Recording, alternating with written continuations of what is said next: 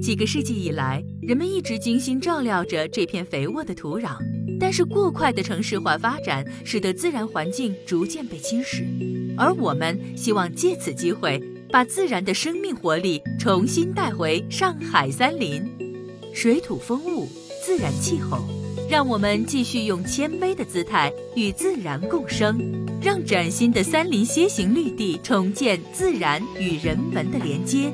重塑传统和新生的桥梁。水是万物之源，水是养育湿地、草甸和森林的首要条件。水土之间关系决定了生态圈的类别。我们可以通过微地形的设计来改变水土关系。比方说，湿地和水稻需要湿润的土壤，草甸需要干燥的坡地。而松林和银杏则需要生长在高地之上。微地形的设计不仅仅可以打造生态的多样性，更会产生丰富的空间体验。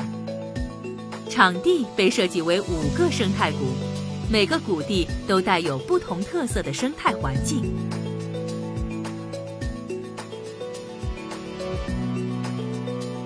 环景观大道连接了六个不同主题的区域及主要景点，连续的跨路人行桥能带你穿越整个园区。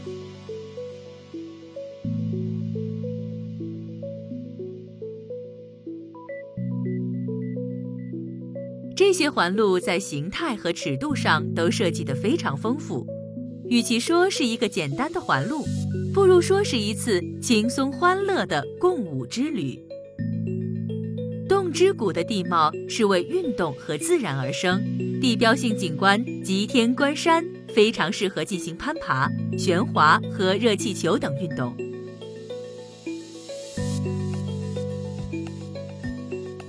依水而生出丰富的水岸生态群落，次庭水湿地非常适宜净化水资源，芦苇荡则能发挥控制洪涝的重要作用。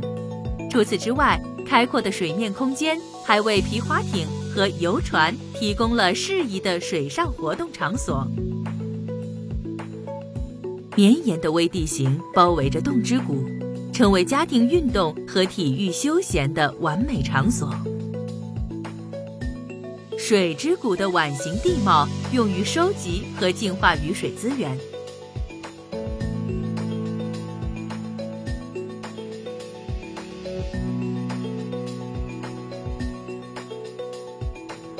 水之谷是一系列水生花园和水质监测站的适宜场所，湿地草丛可以减缓水土流失，而湿地草甸则为授粉的动物提供了适宜的栖息地。沁水源观测中心是学生和家庭进行互动生态调研的自然研究中心。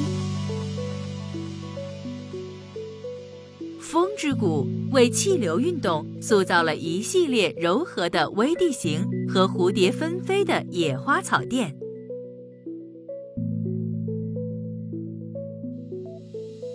杉树植物和多年生的草甸勾画出了微起伏的地形线，绵延的树林为野生动植物提供了栖息地及活动路径。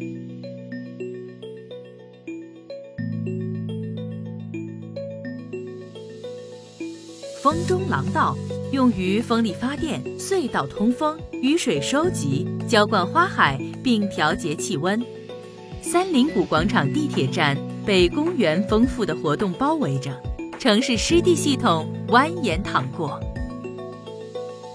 森之谷有一片巨大的山林湿地，还有一片宏伟的树林围绕着生态活动空间。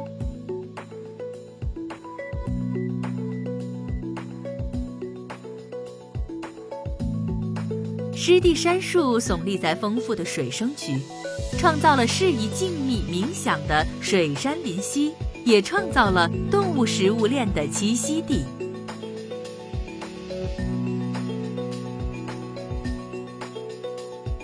在静谧的水杉林溪中漫步，感受长长树影、瑟瑟蛙鸣和潺潺迷雾。森林围绕着樱花树林。樱花隐映的林中剧场是举行婚礼的绝佳场所。土之谷中的土上水下庄园、乐活艺术村，赞颂着自然与人文共生的美好。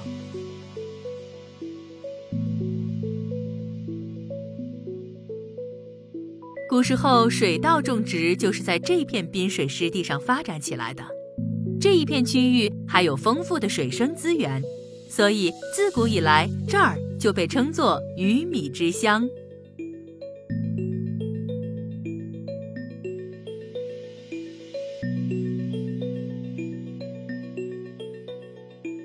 土上水下庄园是新型可持续发展的互动农田，零距离体验田园生活，利用地形设计生物蓄水池。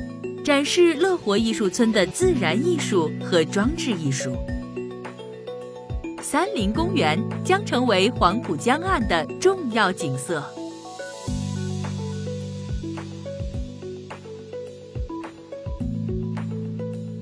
老电厂仓库转化为音乐艺术家之村，满足各个年龄层的文艺爱好者。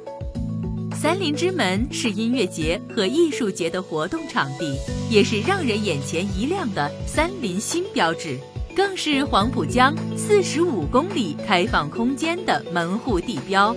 它连接了黄浦江和新城，也框住了公园的地标三林山。有水入山，再极天。正如清代名士吴清所说：“得山水清气，即天地大观。”